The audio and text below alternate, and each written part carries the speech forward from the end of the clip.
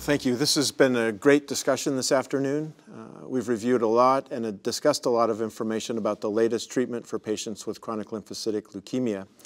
Before we end today's discussion, I'd like to hear from each of you your final thoughts on the most exciting novel agents that are being presented about uh, here at, uh, at ASH 2015. Let's start with Dr. Ferrajoli. My interest in uh, this ASH 2015 meeting is to keep an eye on the new agents. In particular, there is emerging data of uh, immunomodulating antibody.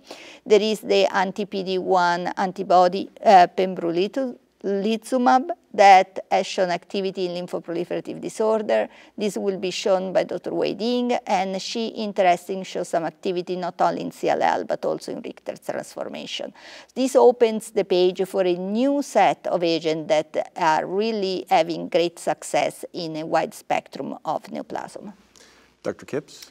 Well, it's obviously a very exciting time with the advent of these newer agents, and one can only imagine the sequencing of these agents and how they may affect therapy or combinations of therapy. But I share with Dr. Ferrajoli the newer agents that are coming out, newer antibodies affecting uh, binding to different targets uh, that could allow us to have therapy that could either be additive, if not synergistic, with these new agents. To me, is very exciting because ultimately at the end of the day we would like to be able to be able to treat our patients safely and have a large number of them actually be cured of their disease. I think that would be quite exciting and I do think that uh, that goal is not unrealistic and I don't think we should fall short of, um, of that goal.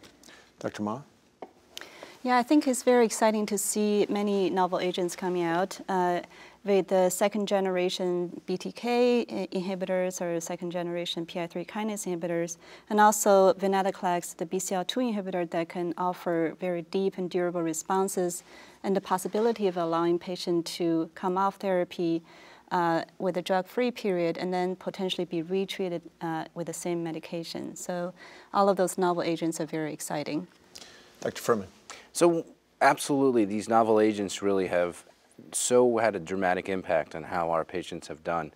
One of the new novel agents that I think is also very interesting is ACP-196, which is also called acalabrutinib, which is a second generation BTK inhibitor that is more specific in terms of binding to uh, BTK without binding to other enzymes, and hopefully will show us diminished risks of diarrhea, bruising, atrial fibrillation, and hypertension the, we're going to start to see at ASH 2015 some early efficacy data, which will, will be very intriguing.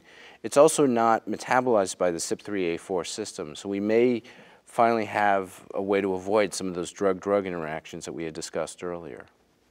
Great, thank you. So on behalf of our panel, we thank you for joining us, and we hope you found this peer exchange discussion on CLL to be useful and informative.